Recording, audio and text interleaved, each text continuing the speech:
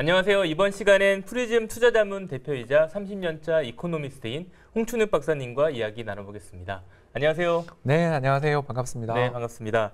네, 부동산 시장을 한번 얘기해 볼 텐데 어, 그 전에 지금 우리나라를 둘러싸고 있는 경제 상황들을 한번 짚어보면 좋을 것 같습니다. 경제 불황에 대한 얘기가 계속 나오고 있는데 지금 어떤 상황이라고 봐야 될까요? 이미 뭐 불황에 접어든 것 같습니다. 어, 지난해 4분기 네. 어, 그때를 고비로 해서 한국 경제는 이제 거의 제로 성장 혹은 마이너스 성장 위협이 상당히 큰 국면에 접어들었는데요. 네. 이유는 두 가지죠. 뭐 하나는 수출이 특히 반도체 중심으로 해서 되게 안 되기 시작한 데다가 음.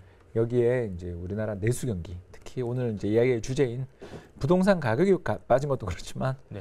이 거래가 되게 많이 줄어서 2021년 거래량에 비하면 뭐 심지어 심할 땐 10분의 1까지 지난해 연말 어, 줄었잖아요. 그렇죠. 네. 이런 식으로 거래가 급격히 감소하는 과정이 벌어지게 되면 뭐 이사, 부동산 중개, 인테리어, 가구, 가전 할 거 없이 우리 경제 전체에 전부 내수가 상당히 어려워집니다. 네. 음, 결국 우리나라 수출도 좀 안 좋은 데다가 부동산 경기 충격까지 발생을 해서 일단 경기는 너무 안 좋고 어, 사실상 불황이 이미 진행 중인 것으로 보여집니다. 음, 구체적으로 좀 아까 말씀하신 상황들 좀 빗대어 보면 자산 시장에서 나타나고 있는 현상들을 좀 다시 한번 짚어주시면 좋을 것 같아요. 일단 주식 시장이 뭐 제일 먼저 반응했고요. 주식 시장은 2021년 6월부터 빠지기 시작했으니까 그때 이제 종합주가지수 3,300이 뭐 얼마 전엔 2,130까지 얼마가 빠졌나요? 1,200포인트 음. 빠졌습니다. 그러니까 종합주가지수가 1,200포인트 빠지면 뭐 고점에서 한 33% 이 정도 주가 빠지면 일단 자산 시장의 충격이 연쇄적으로 네. 발생할 수밖에 없는 데다가 이제 거기에 2021년 8월, 9월부터 시작해서 이제 한국은행 금리 인상이 네. 시작되면서 부동산 실거래가 기준으로 해서는 10월부터 그해 음. 10월부터 네, 결국 어, 2021년에 발생했던 충격들이 22년 내내 우크라이나 전쟁까지 터져서 네. 그냥 엎친 데 덮친 격으로 자산 가격이 폭락했고 특히 작년에는 채권 가격도 그러니까 금리가 오르면서 기존에 발행됐던 저금리 채권들의 인기가 그냥 순식간에 시장에서 떨어졌습니다. 음, 그렇게 되다 보니까 이제 트리플 약세, 어, 주식, 채권, 부동산, 자산 시장에 있는 주요 자산이라는 자산들은 어, 다 폭락하는 그런 패닉 장세를 겪게 됐다고 볼 수 있죠. 집값도 그런 이유 때문에 좀 빠졌다고도 볼 수 있을까요? 집값이 빠지게 됐던 또 다른 이유는 역시 유동성으로 올랐던 시장 유동성이 꺾이는 순간 한 번에 그 무너지고 말았다라고밖에 말 못하겠는데요. 네. 예, 그 2021년 하반기부터 시작됐던 한국은행의 금리 인상도 문제였지만 그해 10월 문재인 정부 그 전세자금 대출 규제가 시작된 게 지금까지 이어지고 있는 아, 상황이 되다 보니까 네. 그러니까 2020년, 21년에 그 코로나 팬데믹 장세에서 가장 주된 매수처나 또는 매수 세력은 음. 2030 그쵸, MZ 네. 세대였고 네. 이분들 돈이 좀 없다 보니까 갭 투자를 많이 했거든요. 많이 했습니다. 네. 네, 그래서 전세 가격 상승이 음. 갭을 축소시키고 갭 투자가 나오면서 집값을 다시 올리는 이런 연쇄적인 악순환이 벌어졌던 시기였고 음. 이제 거기에서 가장 중요한 게 결국 전세자금 대출이라는 어, 유동성의 중개 이런 것들이었는데 그게 지금 뭐 역, 네. 역전세 네. 또는 전세 사기까지 터지면서 그 길이 완전히 지금 막혀서 음. 얼마 전 이제 제 음, 저랑 이제 같이 공부하시는 분들이 계시는데 네. 그분 중에 한 분이 도시주택기금에서 이제 30대 초년의 직장인들 기준으로 해서 그 무이자까지는 아니어도 한 1% 금리로 돈을 빌려주는 전세자금 대출 서비스가 있는데 음. 어, 이분이 어, 어, 무서워서 빌라는 못 들어가겠어요라며 그렇죠. 좀 네. 비싸고 월세를 거기다 추가해서 내더라도 음. 어, 그 주거용 오피스텔 쪽으로 알아보고 계시는 걸 보면서 음, 야 이거 진짜 어, 걷잡을 수 없는 공포를 유발한 시기였던 거죠. 그러니까 시장이 그러니까 차례대로 무너진 꼴이 됐습니다. 그러니까 아파트 갭 투자 무너지면서 그 뒤 오피스텔이라든가 빌라 쪽에서 역전세 발생하면서 그또 빌라 사기까지 그러니까 연쇄적으로 거래가 얼어붙고 심리가 얼어붙고 결국 가격의 폭락으로 확인되며 이게 다시 또 사람들의 심리를 누르는 어, 이런 상황이라고 볼 수 있죠. 지금 뭐 집값이 급락했다고 하는데 박사님 보시기에는 최고가 대비 어느 정도 좀 빠졌다고 판단하세요? 서울 아파트 가격 기준으로 해서 고점 대비해서 한 30% 가까이 빠진 것 아. 같습니다. 실거래가 기준으로. 네네. 그래서 2021년 9월 대비 실거래가 지수가 그때부터 이제 하락해서 네. 작년에 한 22% 정도 빠졌거든요. 음, 그래서 올해 2월까지 이제 하락을 하다가 멈췄는데 대략적으로 한 30% 가까이 빠졌다. 그러니까 실거래가 기준 30%니까 이건 뭐 이만저만한 충격이 아니고 네. 외환위기 때 실거래가 통계가 없어서 음, 그때랑 비교하기가 좀 그렇긴 합니다만 음. 아무튼 외환위기 이후에 가장 약한 장이 최근까지 진행됐다 이렇게 볼수 있습니다. 최근에 너무 많이 올랐기 때문에 30% 빠진 걸로 보면 되게 많이 빠진 것 같지만 너무 많이 올라서 그렇게 참 감이 안 온다는 분도 계세요. 네. 그런데 이제 그 의견에는 동의할 수 없는 게 어. 아, 우리 부동산 시장이 2019년 장세를 어떻게 보냐 이렇게 물으면 오르긴 올랐잖아요. 그러니까 네네. 그때 12, 16 조치 이런 것들 음. 그 15억 이상 아파트 대출 금지 이런 좀 아주 극단적인 조치들이 취해질 정도로 강력한 부동산 시장에 대한 규제 대책이 나올 정도로 힘, 어려웠지만 그때 그 부동산의 주택 구입 부담 지수라고 있습니다. 이게 뭐냐면 각 지역에 살고 있는 사람의 소득을 가지고 그 지역의 아파트를 구입할 때 따르는 부담을 측정한 건데 네. 이게 이제 그때 보면 역사적인 평균 레벨에서 뭐 조금 높거나 낮거나 네. 또 서울 같으면 한 132 전후가 평균이었는데 그 정도였어요. 음. 그러니까 2019년 평균 주택 가격이 버블이다 이렇게 이야기할 수는 없는데 그게 이제 2020년, 21년 이 2년에 걸쳐서 30% 오르면서 네. 네. 버블을 만들어 버렸던 거죠. 그러니까 역설적으로 이야기하면 고점에서 30% 빠지면 2019년 가격이거든요. 그렇죠. 그럼 2019년 가격이면 버블이냐? 어. 게다가 2019년부터 20년, 21년, 22년, 23년 만 4년 동안 뭐 예를 들어서 대기업 같은 경우는 연봉 20% 오른 데가 많잖아요. 음. 당장 올해 삼성그룹 지금 연봉 협상 보니까 4.1%, 그 작년에 10%, 네. 재작년에도 올랐단 말입니다. 음. 그러니까 생각하면 한국을 주도하고 있는 수출 대기업들의 연봉은 지난 4년간 거의 한 20% 이상 올랐는데 집값은 2019년 레벨이라면 이렇게 비싸다고 말할 수는 음. 없는. 그러니까 가격이라는 게 언제가 바닥인지를 몰라 못 사는 거지. 네. 이게 너무 비싸고 말도 안 되는 가격이어서 못 산다라고 말하기는 이제는 음. 그건 재작년까지는 맞았지만 네. 올해는 그 말은 좀 안 맞다 음. 이렇게 볼 수 있겠습니다. 그런 상황에서 거래량이 약간 늘었고 그러다 보니까 좀 집값 반등에 대한 얘기도 좀 나오면서 혼란을 느끼는 분도 계신 것 같아요. 지금 부동산 시장을 좀 어떻게 판단해야 될까요? 바닥 징후는 보이는데 쳤는지는 저도 잘 모르겠습니다. 네네. 어, 왜 그렇게 생각하냐 하면 일단 급매물 위주로 시장에서 소화가 되고 특히 대단지 위주로 음. 인기 있는 대단지 위주로 거래가 늘고 있는 건 분명한 사실인데 이건 일부 지역에 국한된 문제이고 네. 사실은 서울이랑 광명 등 일부 지역을 제외하고는 청약 시장 정말 냉각돼 있잖아요. 음. 그러니까 일부 지역은 확실히 돌아선 기운은 보여지지만 이게 전체 시장의 회복이냐라고 물으면 아 좀 자신 없는 왜 자신이 없냐 하면 음. 가장 중요한 건 경기죠. 뭐. 음. 아까 삼성그룹 연봉 이야기했습니다만 작년 10% 이상씩 연봉 팍팍 올려주던 회사들이 그 연봉을 거의 3분의 1 수준으로 어. 깎았다. 안. 좋다라는 뜻이고 음. 내년 연봉 전망은 어때요? 더 나쁠 수도 있잖아요. 음.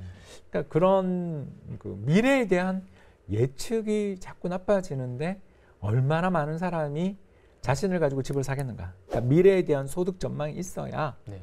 집을 그쵸. 지금 베팅을 네. 할 텐데 음. 소득 전망이 밝지 않은 사람이 집을 그렇게 공격적으로 사겠는가? 음. 그래서 저는 아직은 일부 지역에 국한된 반등, 반등이 나온 건 사실이지만 네. 쌍바닥 리스크도 좀 남아 있고 경기가 지금 좋아진다라는 아직 보장도 없어서 음.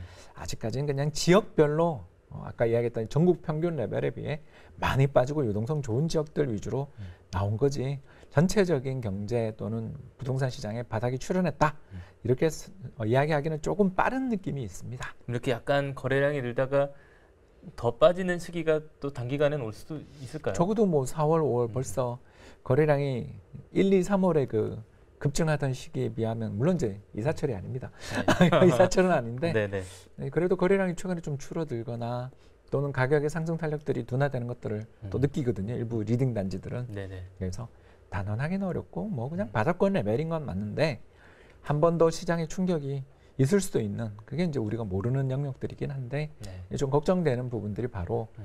어, 7, 8월을 중심으로 해서 여러분들 잘 아시는 것처럼 임대차 3법 3주년입니다. 아 그러네요. 예, 그래서 임대차 3법 2주년이었던 지난 여름에 전세값이 그렇게 폭락하기 시작했을 음. 줄은 누구도 몰랐잖아요. 그때 다들 전세값 더 오른다고 걱정했었지. 그렇죠. 예, 작년에 계약갱신 청구 다 포기하면서 전부 음. 전세 역전세 무서워서 도망가게 되는 날이 올 줄 아무도 몰랐잖아요. 그러니까요. 예. 그런 것처럼 만약에 계약갱신 청구를 그 전에 쓰신 분들은 음. 이제 이번에 물량이 나오는데 전세 가격이 지금 너무 많이 빠져 있는 상황에서 기존에 올라 있었던 전세로 연장을 하셨던 분들이 이제 그걸 빼기 시작하면 어떤 일이 벌어질지에 대한 음. 걱정이 지금 좀 시장에 남아 있다. 음. 그걸 넘기면 아마 시장이 좀 좋아지지 않겠나 기대하는 거지. 음. 아직 바닥이다 아니다. 이렇게 선언하기에는 어, 저도 자신 없고 우리 모두도 그냥 희망과 전망이 지금 엇갈리는. 그러니까 얼마 전에 집을 산 사람은 바닥이다 외치고 네. 싶을 거고요. 집을 좀 더 기다렸다 사고 싶으신 분들 입장에서는 아예 바닥에 아직 음. 출현하지 않은 거 아니냐. 그러니까 안 좋은 면만 보고 서로가 이제 다른 면을 볼 수 있는.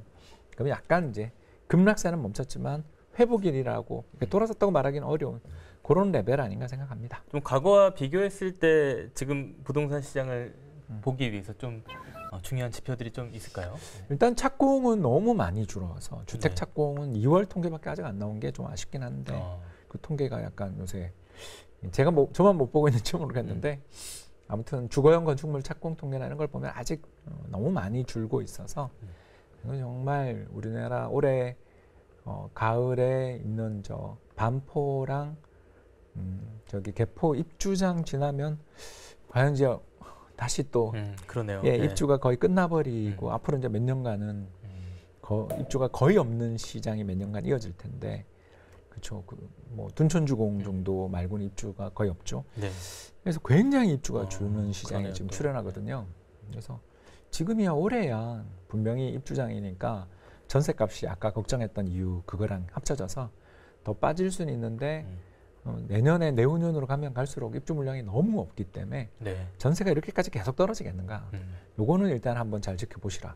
음. 두 번째는 미분양은 늘고 있는데 지역별로 편차가 되게 크니 옛날처럼 미분양 올랐다 줄었다 이걸로 시장을 지금 판단하기는 좀 어려운 것 같다. 네. 결국은 이제 세 번째 요인을 봐야 되는데 음. 착공 미분양 이제 마지막으로 우리들이 저희들이 많이 보는 게 시장 금리 아니겠어요? 네, 네, 네. 근데 최근에 이제 시장에 어, 주택 시장의 반등을 이끈 요인도 사실 금리 하락 때문이었는데 어, 특히 이번에 코픽스 대출 금리가 3.5% 밑으로 내려왔어요. 어. 코픽스 금리가. 네. 이거 굉장히 중요한 신호거든요. 이게 음. 뭐냐면 은행들 입장에서 앞으로 금리 인하가 있다고 보고 어, 금리가 더 떨어지지 않으면 자금을 안 조달하는 그런 여건이에요. 네. 아, 요거가 확실히 어. 계속 내려가는 징후가 보이고 한국은행의 금리 인하에 대한 신호가 보일 때에는 음. 어, 주택 시장의 좀 바닥 확인 인식은 확산될 수도 있다. 근데 음. 이제 그 전에 입주장을 봐야 되겠지만 음. 그래서 7, 8월이 참 올해는 분수령이다라는 생각을 좀 많이 가지고 있고 뭐 저는 잘 넘어간다면 하반기에는 그래도 지금보다 음. 가격이 올라 있지 않겠냐. 근데 단서가 좀 필요하다. 어. 이런 이야기였습니다. 뭐 최근에 보니까 주담대 금리가 낮아 지고 있다는 얘기도 좀 들리는데 그렇다면 연끌하셨던 분들에게도 조금. 한숨을 돌릴 수 있는 시간이 될까요? 근데 연끌하신 분들은 아- 아시겠지만 신용 대출을 많이 받으셨는데 아, 그쪽은 여러 가지. 예, 최근에 네. 연체율이 올라오고 있어서 아, 그러니까 은행권들의 어, 대출의 연체율들이 올라오고 있어요. 다 올라오고 네. 있는데 그 중에서도 좀 연체율이 많이 올라오는 게 결국 어, 주담보보다는 주택담보대출보다는 어, 신용 쪽에서 연체율이 올라오더라고요. 음. 이게 이제 갭 투자의 후유증이겠죠. 음. 그래서 그 금리가 내려갈 것인지는 어. 그러니까 순서가 주택담보대출이나 또는 정부가 해주는 특례 보금자리론 금리가 내려간 거지 음. 전체 시장에서의 그 크레딧 스프레드라고 그러니까 어, 이렇게 신용과 담보가 있는 물건 사이에 금리 차는 좀 더 벌어지지 않겠나 음. 생각됩니다. 한 가지 더 혹시 경매 지표로 봤을 때는 좀 어떻게 어, 요새? 좀 그쪽은 좋아지고 있죠. 확실히 경매 시장이 먼저 돌더라고요. 그래서 네. 2월이 최악이었던 것 같고 3, 4월부터 확실히 낙찰가율이 더 떨어지기보다는 횡보하거나 올라오는 음. 그런 경향이 나타나고 있어서 네. 요거는 아주 좋은 징후다. 음. 대신에 이제 경매 물건이 많이 늘어서 음. 그러니까 못 버티고 결국 이제 그쵸, 경매로 네. 넘어가시는 물량들이 많다라는 것 때문에 음. 지금 경매가 호황이에요. 경매가 음. 호황인데 요게 좀 신호가 이렇게 낙찰가율이 조금씩이라도 올라오기 시작하면 저 더 낙관적으로 제가 돌아서지 않을까. 음. 아직은 근데 이제 떨어지는 게 멈췄다. 음. 이렇게 봐야 될 것 같습니다. 혹시 이제 앞으로 나타날 집값 반등 시나리오는 여러 가지 몇 가지가 있을 것 같은데 어떻게 좀 보세요? 어, 제일 좋은 시나리오는 네. 금리 인하해 주는데 하반기 수출 회복되는 거죠. 뭐 이러면 뭐 V자 반등. 음. 이건 V자 반등. 어. 예, 그러면 뭐 제 생각엔 한 2020년 가격까지 갔다가 이제 거기서부터 이제 정말 경기가 좋아지냐, 금리가 앞으로도 계속 낮냐 이건 문제지. 음. 뭐그 정도로 지나가다가 이제 2025년, 6년에 입주 완전 제로장, 수도권 기준 입주 제로장이 오잖아요. 네. 어, 그런 지역들이 이제 문제가 되기 시작할 때는 다시 집값이 그때 한번 오를 수도 있는 그런 음. 것 같고요. 이제 그 다음이 워스트 시나리오는 뭐 미국 저 경기가 지금 뭐 부채 한도 협상에 은행들 신용 경색 문제에 대출 감소 문제에 뭐 시끄럽잖아요. 음. 저희 잘 안 되고 미국 연준의 금리 인하가 또 그 경기가 나빠지는데도 시원찮게 인하되거나 지연돼서 경기가 정말 나빠지면 금리는 떨어지지만 경기가 더 나빠져서 음. 연체율이 올라가게 되는. 그러면 아까 이야기했던 대출 금리의 인하 속도가 그렇게 느리지 않은데 경기는 되게 나쁜. 이렇게 되면 이제 경매가 다시 음. 늘며 지난해 연말 같은 장이 오는 거죠. 그러니까 경매 다시 늘면서 낙찰가율 떨어지며 이게 다시 금매를 부르는 경매 넘어가기 전에 파는 이제 음. 그런 매물이 나오는 그러면 이제 이중 바닥 이자 어. 이중 바닥이지만 오른쪽 바닥이 지난해 연말 11월 바닥보다 더 밑에 있는 아유 생각만 해도 무섭죠. 그러네요. 예, 이제 그렇게 되면 부동산 PF도 음. 더 문제가 되겠죠. 음. 지금만 해도 그래도 좀 어떻게 보면 불을 약간 꺼 연기는 나는데 불은 안 보이는 음. 정도가 지금 부동산 PF 상황인데 거기도 문제가 더 심각해지는. 그래서 지난해 연말 올해 초 어, 롯데건설 자금 조달이 저는 결정적인 지금 음. 시장의 회복에 금리 떨어지는데 큰 힘을 줬다고 보는데 네. 저 그때 롯데그룹이랑 메리츠 증권이 한 2조 5천억이었나요? 이렇게 음. 펀딩해서 불을 좀 껐잖아요. 그리고 그 불안감들을 많이 씻어줬고 정부도 채권시장 안정기금 통해서 시장금리 내려주는데 아주 큰 역할을 했지만 이제 이걸로 안 되는 시장이 올 수도 있죠. 왜냐하면 경기가 정말 걷잡을 수 없이 나빠지고 기업 부도까지 나온다라면 음, 이건 또 어떻게 우리가 해볼 수 없죠. 네. 근데 일단 워스트 시나리오는 좀 가능성은 낮다. 음. 왜냐하면 뭐 최근에 어, 미국의 선행, 그러니까 동행 지표는 꽝이에요. 음. 완전히 나쁜데 선행 지표들은 조금씩 좋아지고 있어서 하반기 그래도 뭐 바닥 치지 않겠나? 수출입니다. 음. 수출 바닥이면 예, 경기 바닥은 내년에 우리 치겠죠. 음. 그렇게 기대는 하고 있는데 이건 아직은 좀 먼 일이잖아요. 네. 이제 5월이니까 음. 그래서 빗나갈 여지가 있어서 이런 음. 부분들 특히 미국의 은행권들 또 부도나냐 이런 것들은 음. 조금 어, 신중하게 보셔야 될 것 같습니다. 네. 마지막으로 좀 1주택자나 지금 무주택자들에게 좀 조언을 해주신다면? 뭐 가격을 봐야죠. 음. 자꾸 미래를 예측하려고 그렇죠. 하는데 그게 잘 안 되잖아요. 그래서 지난해 연말에는 뭐 패닉장이 왔고 그러더니 2월 고비로해서 실거래 가격이 반등할 줄 누가 알았습니까? 네.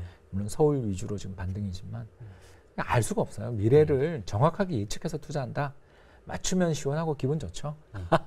근데 저도 안 되더라고요. 아, 그렇죠. 쉽지 않죠. 예, 쉽지 않기 때문에 네. 그냥 레벨을 좀 보시는 게 좋지 않나. 아, 음. 내 소득과 내 금리, 지금 특히 금리를 가지고 이 집이 한 2019년 가격이다 싶으면 좋은 집이다.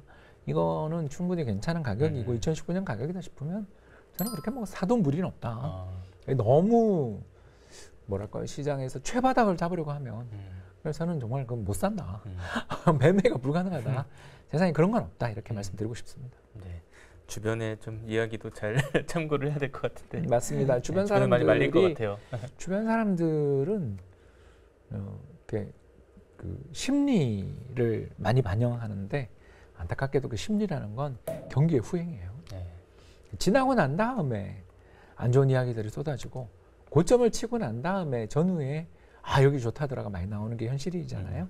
그렇기 때문에 심리도 참 중요하지만 그것도 중요하지만 아까 말씀드린 소득과 이자 그리고 절대 가격이 2019년 가격인가 또 그 가격에 근접했나 이런 거는 참고하시면 투자에 도움이 되지 않을까 생각합니다. 뭐 집값이 떨어지고 있다고는 하지만 뭐 무주택자들은 여전히 좀 불안한 상황이잖아요. 어. 네, 그래서 평소 2019년 수준이면 사도 좋다는 말씀도 하셨는데 음. 어떤 기준으로 좀 판단을 하셨다고 봐야 될까요? 일단 그 두 가지인데 아, 음. 2019년 가격은 돼야 좀 마음이 편하다라는 안전마진 음, 뭐 그런 게 조금 예, 있는 거죠. 아무래도 예, 네. 그때보다 지금 금리가 많이 떨어졌다 그래도 좀 높으니까 음, 어, 이제 좀 소득 대비 저평가 레벨인 걸 사고 싶은 음, 마음이잖아요. 그래서 맞아요. 네. 주택을 구입할 때 우리가 세 가지를 많이 보는데 첫 번째는 소득.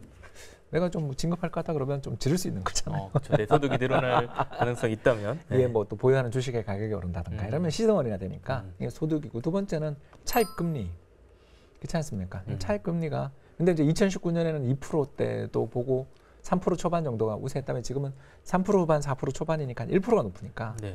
그러면 2019년 가격에 음. 플러스 알파가 있으면 참 좋은 거죠. 왜냐하면 금리 부담은 앞으로 줘야 되니까. 이제 마지막 그렇죠. 세 번째는 네. 절대 레벨인데 음. 요거는 이제 우리가 항상 명목 가격으로만 자꾸 보시는데 그러면 안 돼요. 음. 실질적인 가격을 봐야죠. 그죠? 음. 인플레이션이 어, 작년에 막 5% 6%씩 났는데 네. 그러면 집값이 가만히 있더라도 5% 빠진 거거든요. 그건. 음. 그래서 요거를 다 조모해서 살펴보면 아 2019년 가격에 살 수 있으면 요게 우리 소득 오른 거에다가 인플레이션까지 감안하면 음. 그 가격이라고 하면 거의 제가 봤을 때는 한 15% 20%는 사실 실질 가격은 떨어진 거다. 아, 그렇게 볼 수 있죠. 네. 왜냐하면 나의 구매력도 늘었으니까. 그렇죠. 그래서 이자율 1%그 포인트 정도 그때보다는 올랐지만 이건 뭐 실질 가격 10% 15% 빠진 레벨이라면 음. 버틸 수 있잖아요. 음. 그러면 아 이건 뭐 나쁜 가격은 아니다 정도. 음. 그래서 2019년 가격으로 거래되는 단지나 또 매물이 나온다면 그 상당히 제 입장에서는 그렇게 큰 위험이 있다고 말하기는 어렵지 않냐 아. 그렇게 생각합니다. 가격은 그때로 돌아갔지만 아까 또 말씀하셨지만 금리는 또 온라인 상황이잖아요. 한1% 네, 그거를 이제 상쇄할 수 있는 수준이라고 되려면 결국 좀 어, 실질적인 가격이 한 10% 이상 빠진 음. 걸로 보면 우리가 네. 마음 편하겠죠. 지금 이제 뭐 집값에 영향을 미치는 요소들이 뭐 많이 있는데 뭐 금리나 미분양 또 여러 가지 있잖아요. 어떤 그렇죠. 것들이 좀 주목해서 봐야 될까요? 아우 역시 금리가 제일 중요하고요. 왜냐하면 음, 대출 안 받아서 집을 살 수 있는 사람이 얼마나 네, 되겠습니까? 그렇죠. 네. 거기다가 요새 DSR 규제가 있어서 이게 네. 또 장기 저, 저리로 대출을 받냐 아니면 장기 고리냐에 따라서 이 부담이 되게 커요. 네. 음, 그렇기 때문에 아무리 정부에서 적격 보금자리론이나 뭐 이런 것들을 여러 가지 해서 좀 금리 부담을 낮춰주려 그러지만 더 떨어진다면 이건 상당히 한번 해볼 만한 어. 게임이 되지 않나.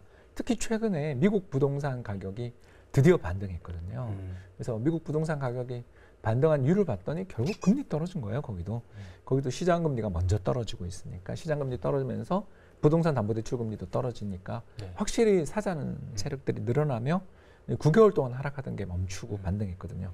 한국이랑 실거래가가 똑같이 움직이더라고요. 네, 이런 거 보면 역시 금리가 부동산 시장에서는 제일 중요하다. 이제 음. 그 다음이 미분양 또는 공급인데 네. 미래 공급 물량은 되게 없는데 왜냐하면 전체적으로 주택 착공이 너무 줄었어요. 음. 음, 근데 비해서 미분양은 좀 늘 가능성이 있는 게 이 지역별로 편차가 크더라고요. 네. 그래서 서울이나 수도권 쪽은 좀 미분양이 별로 없는데 비해서 뭐 음, 일부 경기, 인천 그리고 지방 광역 대도시 쪽에서는 미분양이 좀 보이지 않습니까? 네. 근데 비해서 경기라는 게 지금 어디가 제일 좋냐 이렇게 물어보면 자동차 업종 음. 뭐 그리고 금융 쪽 그죠? 최근에 증권사 이익 엄청 났다 그러잖아요. 그러니까 이런 거 보면 몇몇 업종만 좋아요. 어. 그러니까 전국적인 어떤 소득 증가나 이런 게 나오는 게 아니라 일부 업종만 경기가 좀 좋고 나머지는 다 어려우면 소득 전망이 일부만 좋지 음. 전부 다 좋지는 않은데 그 지역에 미분양이 쌓여 있다면 경기 안 좋은 지역에 음. 미분양이 쌓여 있으면 곤란하겠죠. 네. 음, 그런 식으로 음. 좀 반영을 하시면 될 것 같습니다. 그래서 착공의 감소가 2020년을 고비로 해서 21년, 22년에 조금 늘다가 22년 작년부터 계속 줄었거든요. 그런 걸 생각하면 요게 2, 3년 뒤 입주니까 25, 26으로 가면 입주가 엄청 줄거든요. 아. 그래서 개포 입주장이나 반포 입주장, 광명 입주장 뭐 몇 개 있지 않습니까? 강동 입주장 이렇게가 수도권 쪽에 몇 개 입주장이 있는데 음. 그 입주장 끝나고 나면 아마 어, 공, 그 입주 공백이 상당 기간 이어지지 않겠나. 네. 그래서 지난 20년간 연평균 서울 지역에 신규 입주가 한 4만 호 되는 큰 시장인데 그때 되면 만 호 밑에도 보일 것 같고 올해가 일단 너무 적었죠 지금까지. 음. 하반기 개포 입주가 있으니까 올해는 그래도 평년 수준의 한 절반 정도 될것 같은데 네. 그러니까 2만 호 정도 보이잖아요 지금. 그러네요 또. 네. 아, 근데 내년에도 뭐 일부 지역 몇 개 빼고는 강동 입주 만 호에다가 몇 개 빼고는 거의 없고 25년 넘어가면 이제는 거의 0이거든요. 음. 음, 이걸 생각하면 어, 부동산 시장이 올해 바닥인지 솔직히 더블딥 불황와서 내년에 바닥인지는 제가 모르겠습니다만 음. 그 바닥 이후에는 일단 공급 물량 없어서 옛날처럼 미분양이 끝도 없이 쌓이는 장은 안 나올 것 같다. 아. 이렇게 보는 거죠. 하락장이 한번 왔을 때또 음. 이제 좀 장기간 간다는 그런 의견도 있잖아요. V자 반등보다는. 아, 그거는 저는? 동의하지 않아요. 어. 왜냐하면 그건 네. 공급 물량이 많을 때는 장기간 가요. 음. 대표적인 게 보금자리 주택. 음. 2013, 14, 15, 16까지 한 U자로 기었잖아요. 바닥은 13년이지만 뭐 네. 거의 그게 무슨 바닥이냐 싶을 음. 정도로 2016년까지 미분양도 많고 되게 힘들었단 말이에요. 음. 왜 그러냐 그러면 그게 보금자리 주택이 매년 20만 원씩 착공했던 그 입주가 네. 어, 세곡동, 자곡동, 내곡동, 뭐 저기 상암동부터 그쵸. 시작해서 네. 얼마나 많았습니까? 음. 그, 그 물량들 소화하고 올랐거든요. 음. 그래서 17년부터 탄력 있게 올랐죠. 뭐 그런 점들을 보면 이번은 V자든 W자든 시장이 어, 물량이 그렇게 부담이 없는 장이다. 그러니까 오를 때 대규모 뭐 입주 사태가 있고 그러지 않으니까 음. 그래서 빠질 때도 시원하게 빠졌지만 음.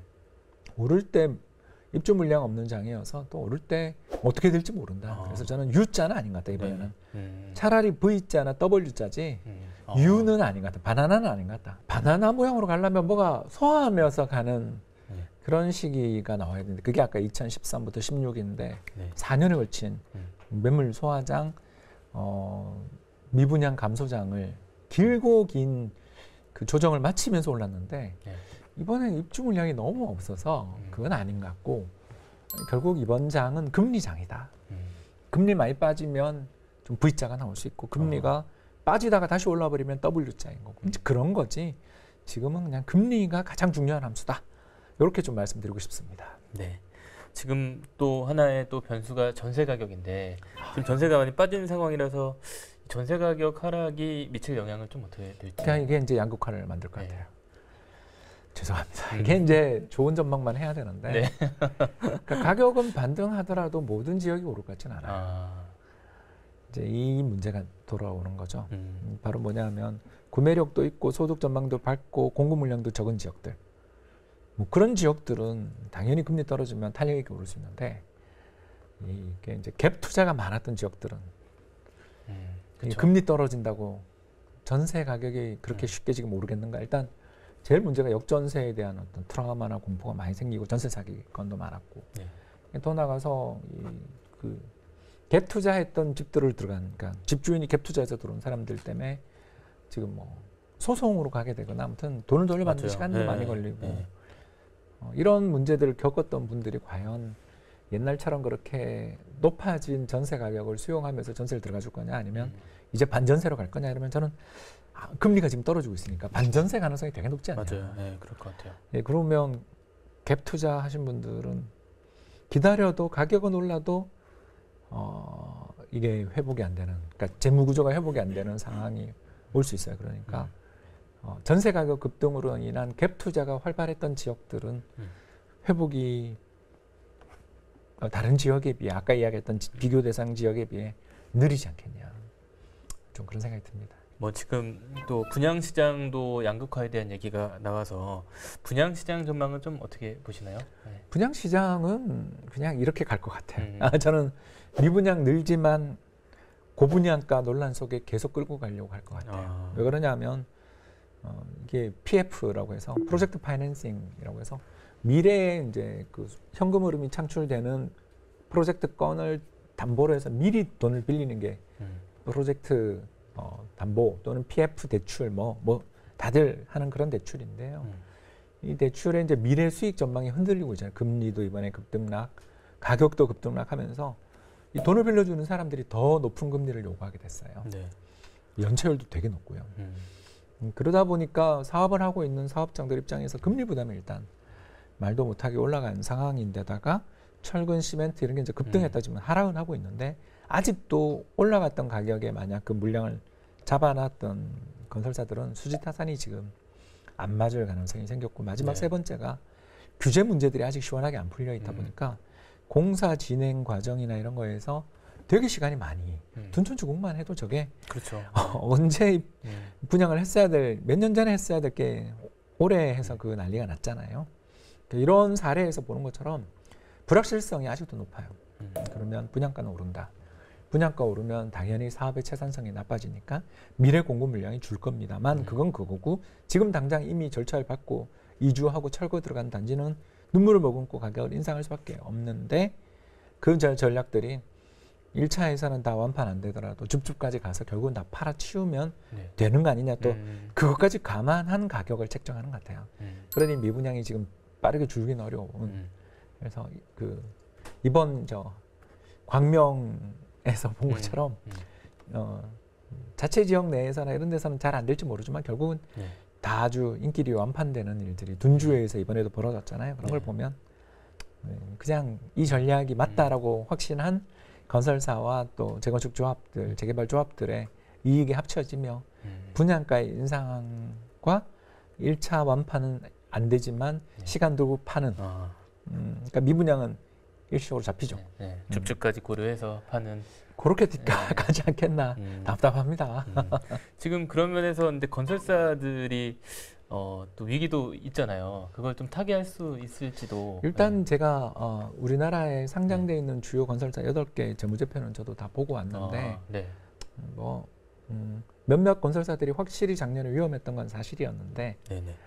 아, 예, 엘모사랑 음. 티모사가 힘들었었는데 음, 어, 다행히 어, 이그 그룹에 속해 있었던 덕분인지 음. 어, 자금난을 그럭저럭 이어낸 모양이고 그 밖에 여섯 개 사는 뭐 당장 현대건설이라고 하면 음, 굉장히 좋고요. 음, 그 재무 구조도 좋지만 가지고 있는 사업장이 어, 그렇게 나쁘지 않은 사업장들에서의 맞아요. 네. 어떤 부채 문제들이니까 음. 뭐 현대건설이 어떻게 될 것 같지도 않고 또 GS도 그렇고 삼성물산은 뭐 말할 필요도 없고 이제 그 밑으로 가면서 이제 중견 건설사들도 봐도 힘들긴 하겠는데 이자 부담 때문에 힘들긴 아. 한데 어디 당장 엎어질 때가 보인다고 말하기는 조금 어려운 아. 그런 상황이어서 음. 그냥 신용도는 떨어졌다. 그건 어쩔 수 없고요. 그러나 망한다라고 이야기하려면 어, 부동산 시장이 지금보다 더 나빠져야 되는. 그러니까 아주 심하게 나빠져서 미분양 이제 아까 이야기했던 줍줍도 안 들어오는 상황이 되면 모르겠지만 음. 아직은 그런 상황 아니라서 그냥 그럭저럭 올해는 실적은 힘들어 보이지만 어디 대형 건설사가 도산하고 이러면서 사업 중단되고 하는 사태는 아직은 눈에는 안 보입니다. 음, 네.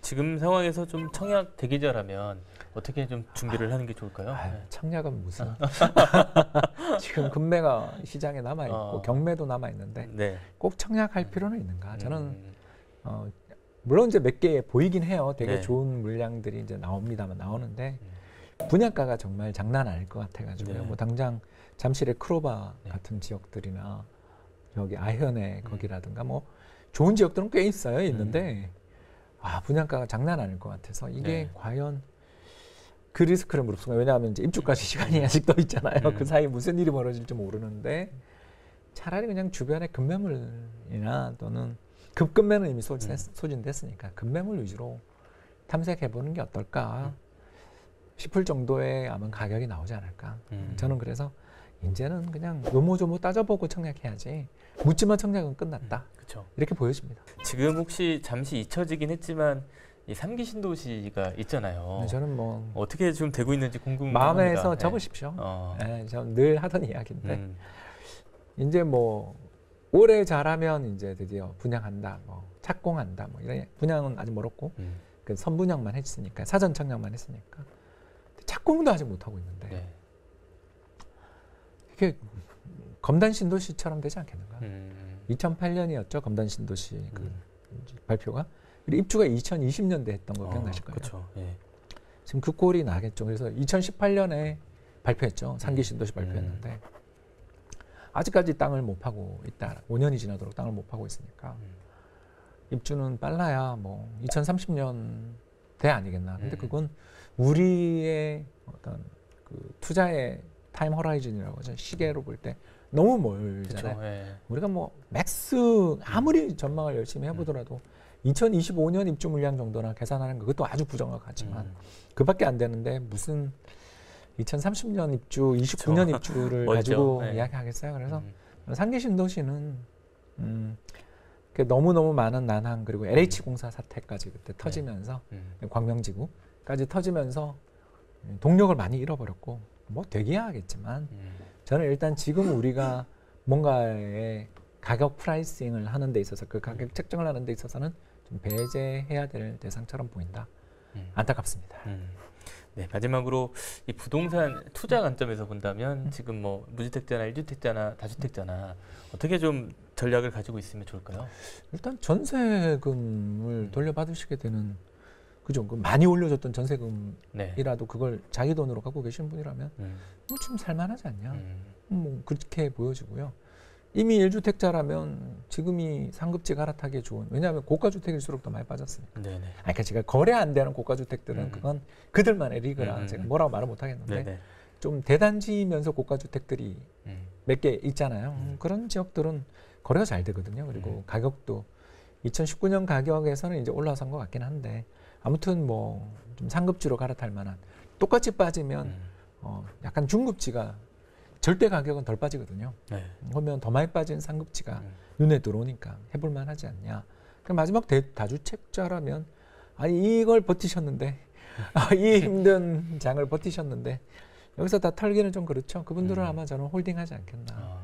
아니면 뭐 똘똘한 한 채로 가거나. 근데 이미 타이밍은 다 그 제가 봤을 때는 다 놓쳤고 음. 이분들은 이제 가격의 회복을 잘 확인해서 똘똘한 한 채로 그럼 우리나라에서 다주택자 포지션은 아직 이 세금에서는 저는 매력적인 포지션 아니다. 음. 예전처럼 주임사 제도들, 음. 제 주택 임대 사업자 제도들 이런 것들을 비롯한 임대 사업자에 대한 혜택들이 나오는 시점에 다주택자 전향도 고민해 볼 수 있지만 음. 지금 뭐 종부세 하나도 지금 손본 것도 양도세도 네. 손본다 그러지만 지금 전혀 안 되고 음. 있는 게 현실이니까.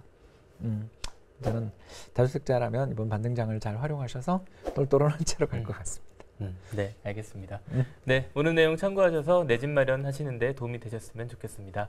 오늘 말씀 감사합니다. 감사합니다.